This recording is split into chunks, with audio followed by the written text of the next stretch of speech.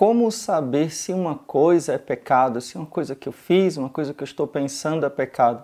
Essa é a pergunta que eu mais recebo nas redes sociais, no Instagram, aqui no YouTube. Quando você tiver essa pergunta, padre, tal coisa é pecado, ou você tiver essa dúvida, você vai fazer o seguinte questionamento. Então, a primeira pergunta é: isso aqui está entre os dez mandamentos? É, a qual mandamento isso aqui é, se refere? Ou seja, existe uma proibição da, na lei de Deus para que você não faça aquilo ou uma, uma, ordem, né? porque não é, são só proibições, são ordens, existe uma ordem da igreja ou da lei de Deus para que você faça aquilo? Ah, não sei. Então pronto.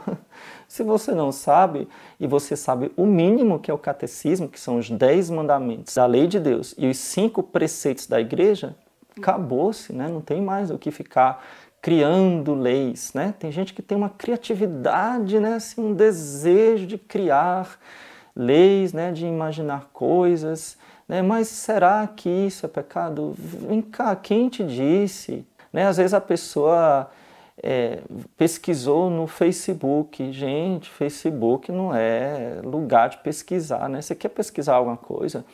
Pesquise no catecismo, no livro, no catecismo da Igreja Católica, né? Ou pesquise nos vídeos sérios, né? pode pesquisar aqui no meu canal, vai lá no canal do Padre Paulo Ricardo, outro que você goste, mas que seja sério, né? que seja algo que, que realmente fale a doutrina da igreja. Né? Então, primeira coisa, está no catecismo? Perdão, está nos dez mandamentos? Não? Então pronto. Está nos cinco mandamentos da igreja, os cinco preceitos da igreja? Não? Então pronto. Padre, está indiretamente. Ah, e sim. Se está indiretamente, então pode ser pecado. Então, que fique bem claro.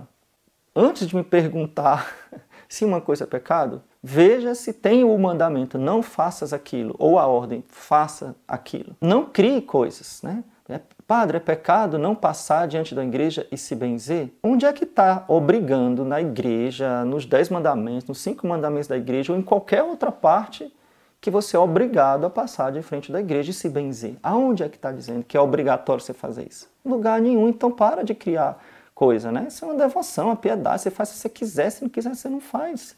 Isso não diminui a sua fé na, na Santíssima Eucaristia. Pronto, você crê que ali está Jesus, você crê, pronto, acabou. É, eu vou até dizer mais, né, com relação à oração.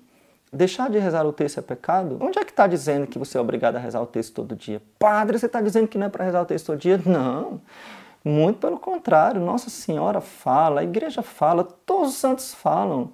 Né?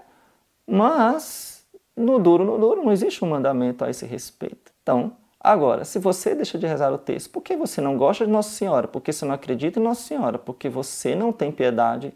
Então, o pecado não é deixar de rezar o texto é não amar a Deus, não amar Maria, é não ser piedoso, entendeu? Aí o pecado é outra coisa.